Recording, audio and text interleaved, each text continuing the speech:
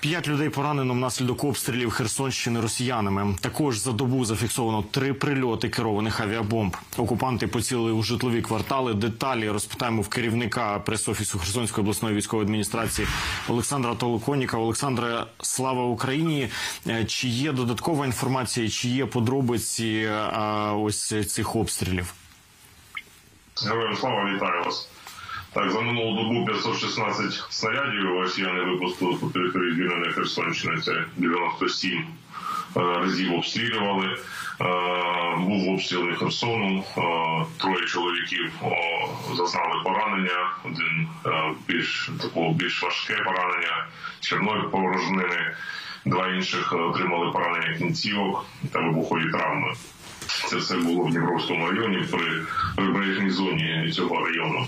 Також е, і зранку сьогодні чутно було е, вибухи в Херсоні, поки що подробиць немає. Будемо надіятися, що без постраждалих та руйнувань. Е, Вчора ввечері Станіслав знову обстрілювали. Е, За вчорашній день ще є поранені в Дніпровському. І також е, в Кам'янці на людину було скинуто вибуховий пристрій з дрону і отримав поранення чоловік та був госпіталізований. Загалом, як вже сказала пані Наталя Гуменюк, за вчорашній день було мало активності, слава Богу, ворожої авіації. Ну І скалів е, було, слава Богу, мало. І тут да, питання в тому, що і дрони не так е, часто залітали. Е, І зараз також по- така погода у нас сприяє тому, щоб вони не могли бачити з неба ситуацію, де тому поки що більш-менш тихо. Олександр, а скажіть, а яка ситуація з евакуацією дітей в прифронтових е, регіонах? Ем, Скільки евакуйовано, скільки ще залишаються? Зараз вже е, 350, навіть більше 350 дітей вивезено з сім'ями разом. Залишається ще 450. Продовжуємо роботу і на вихідних. Е, Наші правоохоронці та соцзахист працюють, і старостат також працює і в цьому напрямку і зараз. Тому будемо надіятися, на понеділок будемо мати вже більше дітей з родинами, тому що ймовірно, що з понеділка знову почнеться масовий обстріл. А, а чи зустрічаєте ви зараз спротив з боку місцевих жителів? І в які їх аргументи переважно? Якби ми не зустрічали цього спротиву, то ми вже всіх дітей з сім'ями виводили.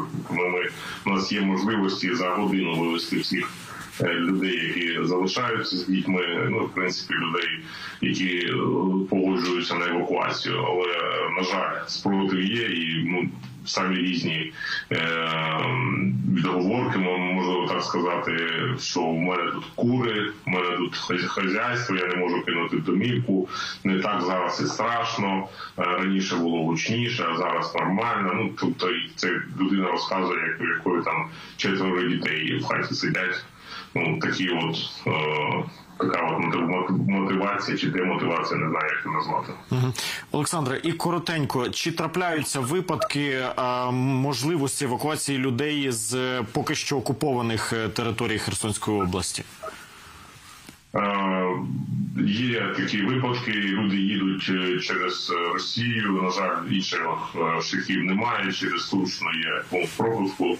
Там люди заїжджають і також іноді звертаються до нас на гарячу лінію 0800 101 102. і Ми вже допомагаємо з логістикою, куди їхати, де людей можуть прийняти. На жаль, поки це єдиний шлях, і або через звичайно через. е, Польщу, Грузію, Ту- Турцію, ну як вийти по великому е, колу.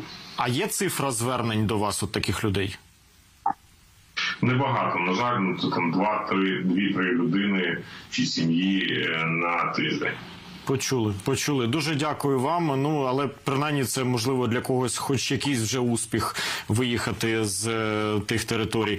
Олександра, дуже дякую. Олександр Толоконніков, е, керівник прес-офісу Херсонської обласної військової адміністрації.